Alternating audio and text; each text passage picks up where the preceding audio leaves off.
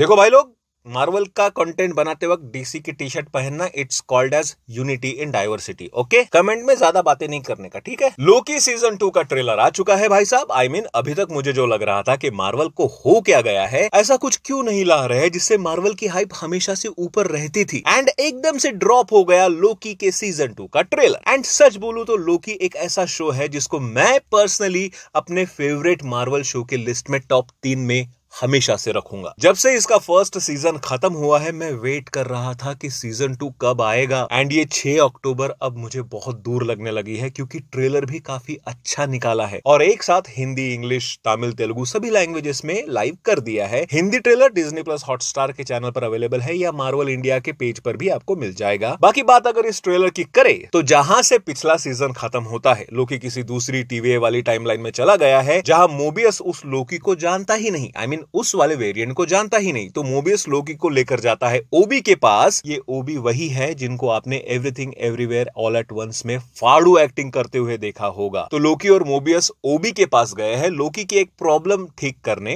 Time slipping की। यानी एक टाइम से दूसरे टाइम में ऑटोमेटिक स्लिप हो जाना यानी फिसल जाना। तो अभी लोकी जो है इस सीज़न में तरह तरह की टाइम लाइन में ऑटोमेटिक चले जाएगा जिससे और भी मुसीबतें खड़ी होगी। एंड टीवीए के अंदर टाइम स्लिपिंग होता ही नहीं है तो उसका इलाज भी मुश्किल है। आई I मीन mean, जब तक लोकी का ये प्रॉब्लम सॉल्व नहीं हो जाता वो टाइम स्लिपिंग करता ही रहेगा। कभी फ्यूचर में जाएगा तो कभी पास्ट में, कभी खुद के ही टाइमलाइन में चला जाएगा और खुद से भी मिल लेगा। एक चीज़ भी नोटिस की मैंने जो अर्थ 616 की ओर इशारा कर रही है दैट इज़ एक शो का पोस्टर देखा जहाँ लिखा है जैनियक और सेकंड सीन था एक एक्टर का, जिसके राइट साइड में अगर देखोगे तो एक लड़की पोस्टर पकड़े मैरी मी ब्रैड वुल्फ लिखा है। तो मार्वल के डेटाबेस से ये पता चला है कि ये जो एक्टर है, वो एक्चुअली जैनियक मॉन्स्टर ही होने वाला है, जो इस सीरीज़ का एक छोटा सा विलन पार्ट प्ले करेगा। आई मीन एक्चुअल विलन भाई साहब कैंग ही है, उसका कोई तोड़ नहीं बट इस जैनियक के ओरिजिनल अवतार, उस एक्टर को दो लोकी के शेडोज एक साथ पकड़े हुए हैं, ये भी हमें दिखाया गया है, जिसको लास्ट में हम टीवीए के डोर में कैद भी पाते हैं मतलब उसको पकड़ लिया गया है। तो जैनियक को पकड़ने का वो एक मिशन रहेगा, जो लोकी और मोबियस मिलकर पूरा करेंगे। But obviously main villain again वही अपना कैंग है डोंट वरी जिसका दर्शन लास्ट में होता भी है। जो शॉट है सेम वही वाला जो लास्ट सीज़न के आई थिंक पोस्ट क्रेडिट या किसी में देखा है।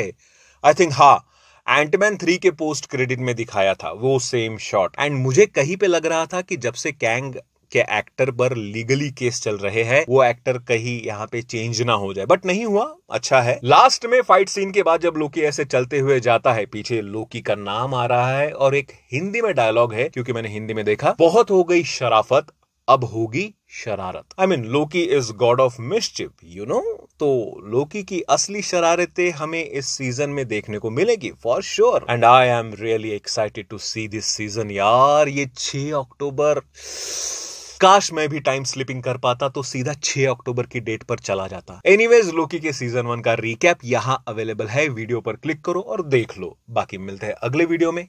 बाय